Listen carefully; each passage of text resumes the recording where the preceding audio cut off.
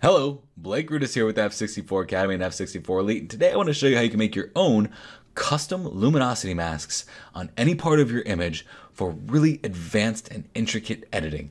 We're going to take a really deep dive into a tool that's kind of hidden in Photoshop, so you're going to want to stick around for this one. So we look at our before. What I really wanted to do here was brighten up the tips of the water, but only make it happen on the tips of the water. So here's the before, here's the after. I was able to make a really intricate selection of just that area by using a really cool tool. Let's go ahead and hop in. I'll tell you all about it.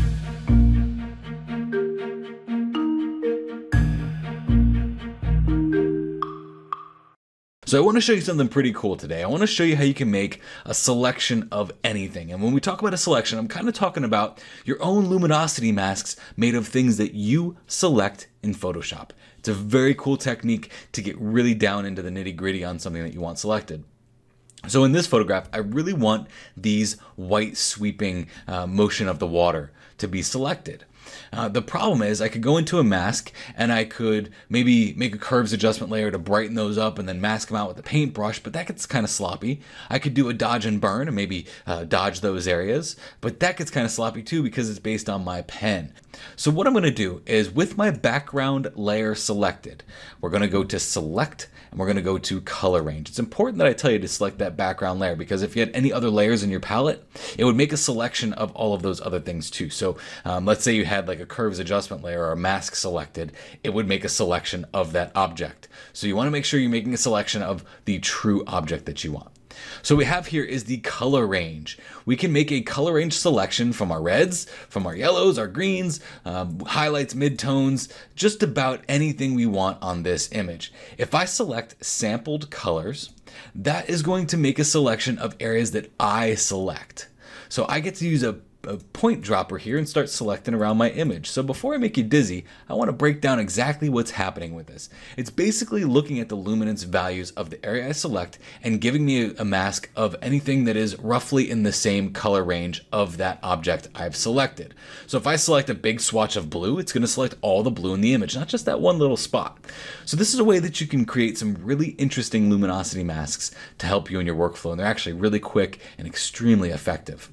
So let's break down this little panel here. We already looked at here, we want the sampled colors here. You have this thing called fuzziness, where if you increase this or decrease this, that shows you how big or how small your selection is going to be. And how do we know what our selection is going to be? Well, right here, I have my selection preview set as grayscale. So anything white is going to be my selection, anything black is not going to be my selection. I can change that to a black matte. so now we see my selection on top of a black surface. Whatever's black is not going to be selected, and it's showing you all of the colors on top of that. Not very effective for this image. The white mask is kind of effective for this image, but the only problem here is that if I was selecting something white, um, it would be white on white, and that's not very good either. And then we have our quick mask, which is just a like a red kind of haze, which is kind of difficult to see. I like to do my selection in grayscale here.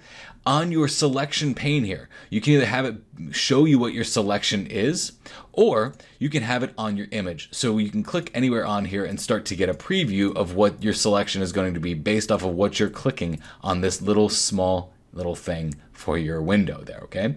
So I told you I want to get that sweeping water, so I'm going to click somewhere where I see that sweeping water, which would be right here. If I change this to none, so no selection preview, and then I click here, that'll also give me my selection too, and then I can change it back to grayscale if I want to look at it on a bigger scale rather than this little teeny tiny window pane. So the other thing we need to talk about is localized color clusters. If I click this option, it's going to open up this range adjustment here. Right now the range is set to 100%. So what it's what this is telling Photoshop is select this color, but any colors that are close to that color in that same selection. So if I drop this range down, you're going to see that it's now like a spotlight. So this is good for selective color. I know everyone hates that word, but let's say you wanted to make a certain area in your image have a little less saturation than the rest of the image in just that one spot. So you select that color, it selects the whole selection, but now you can minimize it and say, you know what, I don't really want you to affect my whole image. I just want you to affect this one little small portion. It's kind of like a mask built into this selection, okay? So we'll bring that up to 100% because I want to show you something else. Over here, you have different tools. You have a plus eyedropper and a minus eyedropper.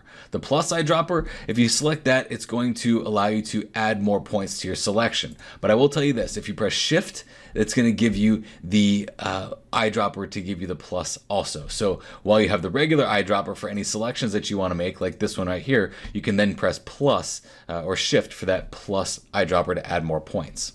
So let's talk about the range here now that we have two points selected. If we drop this range down, you'll see that it's now two spotlights. This is one selection, this is the other selection. Using this range adjustment with the localized color clusters is a great way for you to know just exactly the spots that you pinpointed as selections for your image. So I could click this one. Now you see that point appear there too.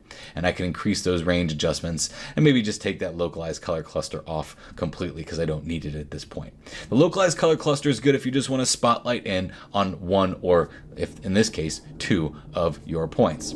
So now with my fuzziness here, I can select how big I want that range to be. Now this really looks like a big, strong luminance mask. But what that's telling us is that all of this white stuff is going to be a mask. So I want to drop that down to about here, okay? And if I press Alt, that will remove any points. So if I go to that localized color cluster and I press Alt on this one right here, it will go ahead and remove that area that I that I didn't really want selected anyway. Because when we go back here and we do our fuzziness, I just want these sweeping uh, points of water plus maybe some of the highlights, the highlighted tips on the water back here.